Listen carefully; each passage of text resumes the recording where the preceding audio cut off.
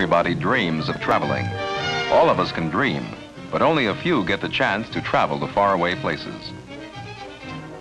Yet, anyone can get a taste of traveling around the world in the one place where the world's nations sit side by side, New York City.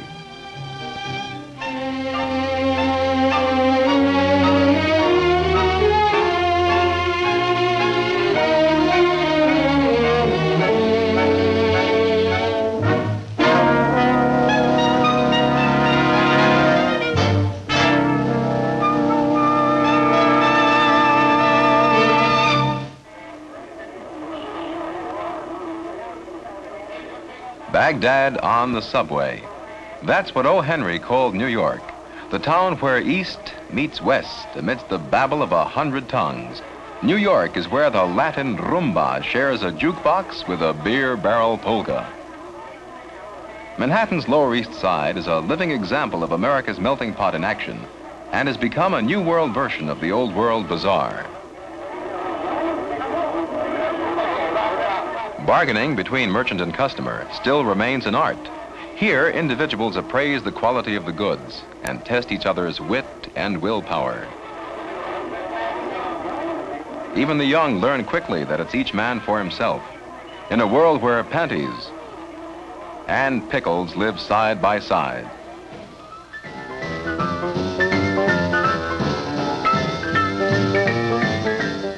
But even this old world marketplace of all nations has bowed to Yankee flavor and rhythm. Hurry, hurry, hurry, hurry. The world is so full of a number of things, and we don't want to miss any.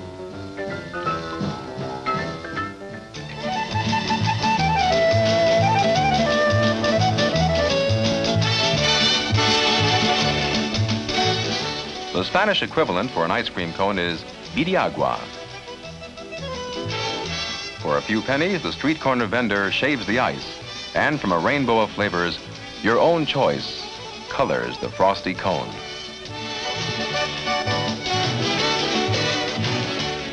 Here's a cooling treat that satisfies the sweet tooth, common to youngsters the world over. The smile foreshadows delights to come. Yet sugar and spice and everything nice is just a small part of New York life for young Puerto Ricanos. Some earn extra money selling shopping bags or with a shoe shine box on a busy corner.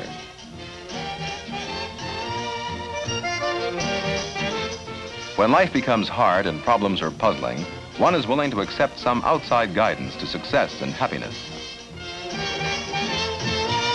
Polly, the fortune teller, relies on chance rather than reason.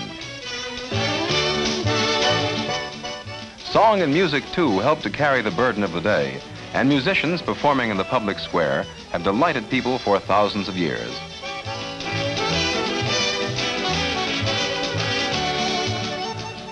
Man cannot live by bread alone, and the soul is nourished by art as well as spiritual inspiration.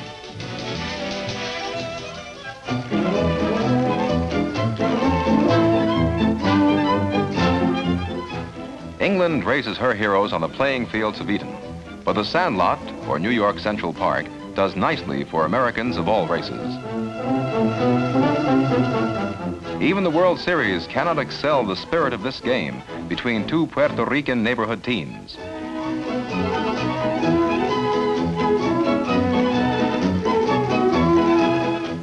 It won't be long before this youngster will be right in there batting him out. And who knows, the greats, the DiMaggios, Robinsons, Campanellas, and Williams got their start just like this.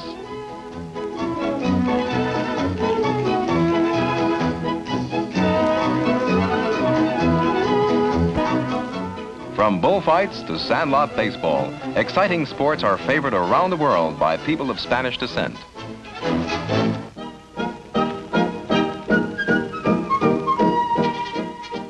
In another part of town, the game of bocce, an outdoor bowling game imported from Italy, still finds favor with the old timers. Two teams bowl in competition.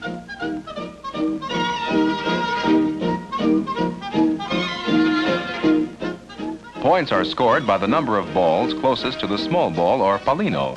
Here, there is no reliance on an umpire's quick eye. Inches are carefully measured, but even the ruler cannot prevent discussion.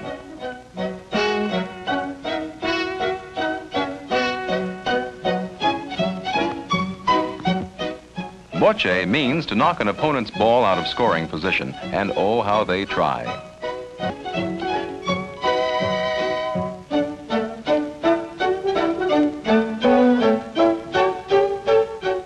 Body English comes naturally to veteran players. You must try to control the ball as long as it is in motion.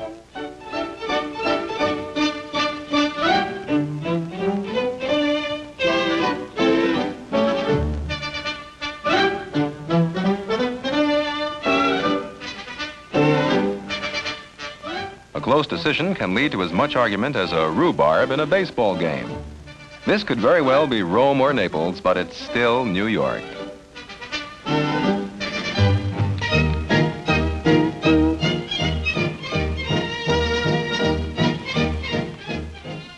In this country, Bocce will hardly outlive the old-timers. Younger generations find their common meeting ground in a red-hot game of stickball.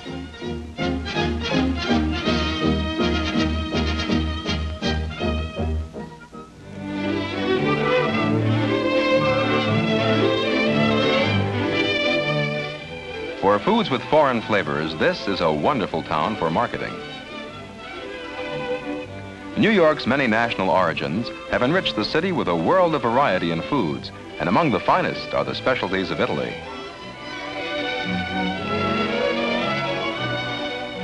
Mozzarella, a cheese product, is a must in the preparation of mouth-watering manicotti, a Neapolitan dish not easily duplicated by unknowing hands.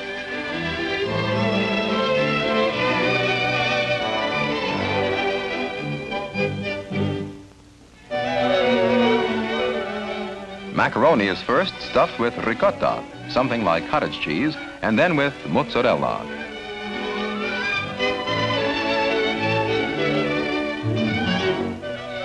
Then it is saturated with a well-simmered tomato sauce, whose recipe has been handed down from generation to generation. Finally, topped with a sharp Parmigiano cheese.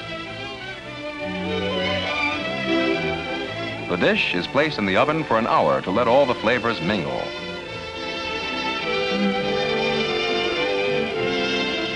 And then with Papa's approval, buon appetito.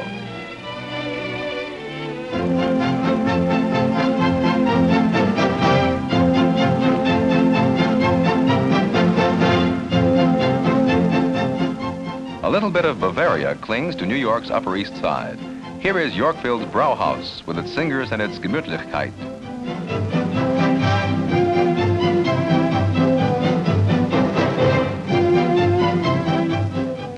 The Schuhplattler, or slap dance, is traditional, and so is the beer drinker's toast. Also Prosit, meine Lieben.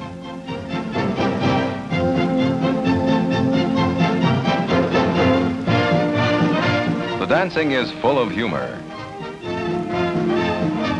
Just like this beer stein, it's lusty and full of the European flavor.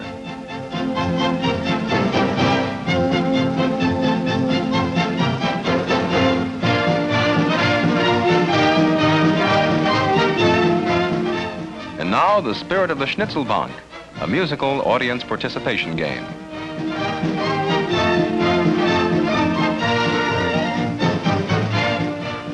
It doesn't make much sense, but everyone has a lot of fun.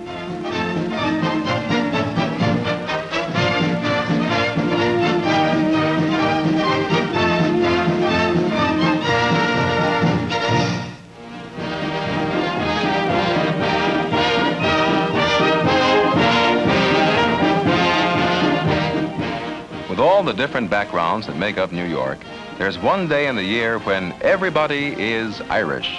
St. Patrick's Day, of course. It's a proud day for New York when its millions turn out for the wearing of the green to the tune of the jigs and the sound of the bagpipes. Officials of church and state review the marchers from the steps of St. Patrick's Cathedral on Fifth Avenue. But the real dignitaries of the day are the Kellys and the Ryans, the O'Connells and the O'Briens.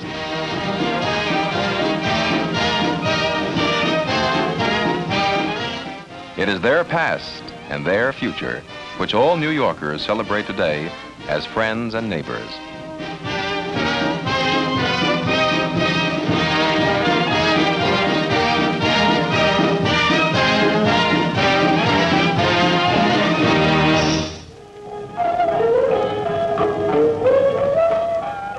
Chinatown calls up memories of subtle foods. Aromas of oriental delicacies linger in the streets. Newsstands, which carry the community's five Chinese language dailies, help to give these streets a foreign appearance. But Johnny Lum, like any other American kid, has his own reading habits.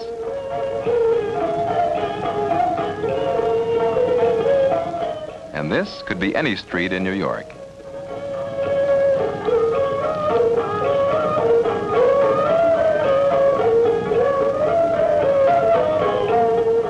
Beautiful Oriental handicrafts attract thousands of travelers who in many ways are the most amusing sights in Chinatown.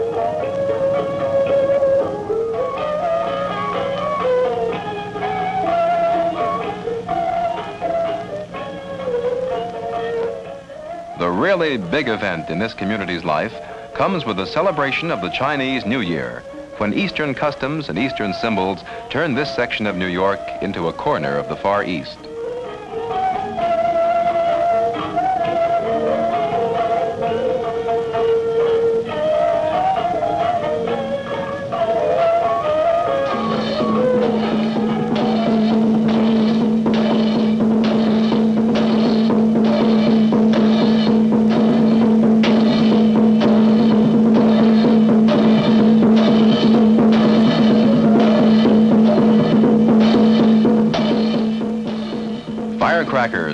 Chinese invention.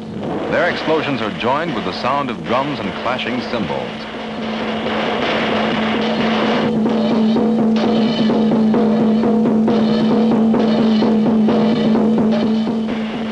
All the noise serves to encourage the dragon as he tries to drive out the evil spirits of the old year to clear the way for the new.